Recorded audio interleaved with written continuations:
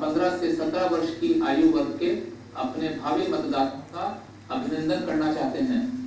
आयोग ने राष्ट्रीय राज्य जिला सब डिविजनल एवं मतदान केंद्र स्तरों पर समकालिक समारोहों और अभिनंदन कार्यक्रमों का आयोजन किया है। जतन करू। आणि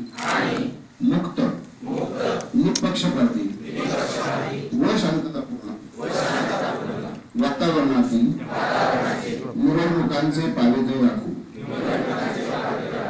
प्रत्येक निवडणुकीत निर्भयपणे तसेच धर्म वंश आज माझं भाग्य आहे पहिले सांगतो त्याचं नाव होत.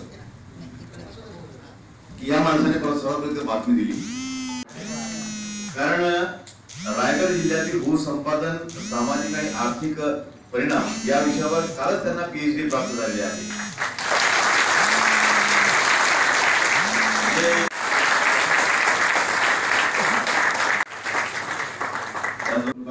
उपस्थित आहे तसेच प्रांत माननीय साहेब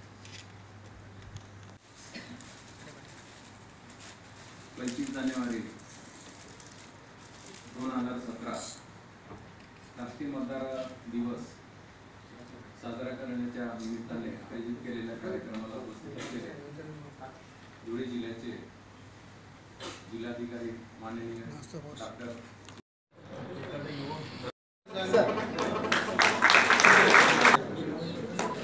आहेत नवीन नोंदणी केली आहे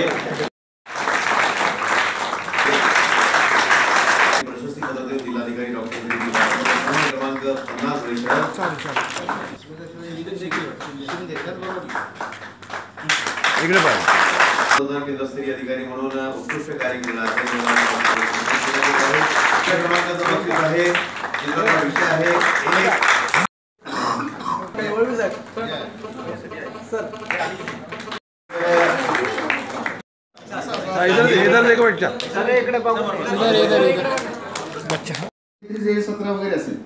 त्यामुळे तुम्ही सगळेच मतदार आहात. मी तुम्हाला भावी मतदार म्हणणार होतो पण ते म्हणायची गरज नाही. कारण तुम्ही सगळे ऑलरेडी रजिस्टर्ड असे वोटर्स आहात. आणि याच्यामध्ये तुम्हाला सांगायची फार गरज नाही परंतु मी पंडित नेहरूंचा फार चांगला किस्सा इथे सांगतो.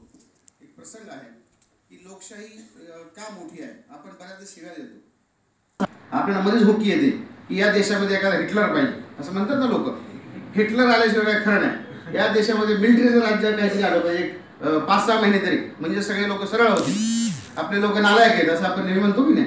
म्हणतो ना लोकशाहीला नालायक लोक होत आपण. आपल्या देशात काय अर्थ नाही लोकशाहीला. हे आताच नाही म्हणत आपण आपण पहिल्यापासून म्हणत आलो. एकोणीसशे पन्नास साली जेव्हा आपण लोकशाही खरं म्हणजे पन्नास काय? त्याच्या आधीच आपण लोकशाहीचा स्वीकार केला. महात्मा गांधींनी सांगितले की देशामध्ये जर कुठली राज्य राज्य पद्धती असेल ती लोकशाही असली पाहिजे. म्हणजे स्वातंत्र्य चळवळीपासून आपण ठरवलं की हे राज्य हे लोकांचं राज्य असलं पाहिजे. केवळ इंग्रज गेले म्हणजे चालणार नाही. तर इंग्रजांनंतर जे येतील ते दुसरे इंग्रज होतील.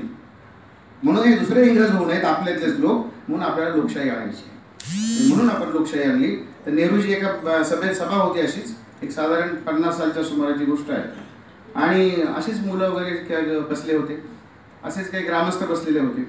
ऐकण्यासारखा प्रसंग आहे. आणि नेहरू पंतप्रधान बघा तुम्ही.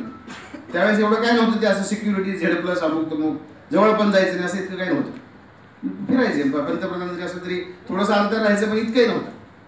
आणि नेहरूने भाषणाला सुरुवात केली ते एक जण उभा राहिला. प्रत्येक गावात असंच असे काही टगे. असं एकटा गावात होतो टग्या. तो उभा राहिला त्याला काही गोंधळ घालायचा होता बाकी काही तो म्हणे कशाला जास्त शानपणा आम्हाला सांगता? बघा तू कसा बोलतो. की तुम्ही काय सांगू नका आम्हाला लोकशाही लोकशाही काय या लोकशाहीने काय कल्याण झालं आपलं? आणि काय कल्याण होणार आहे?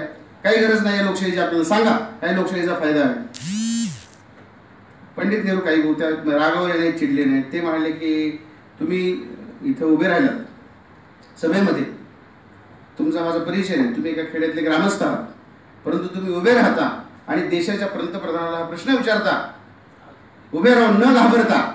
आणि त्याचं उत्तर मी शांतपणे देतो. हा लोकशाहीचा सगळ्यात मोठा विषय.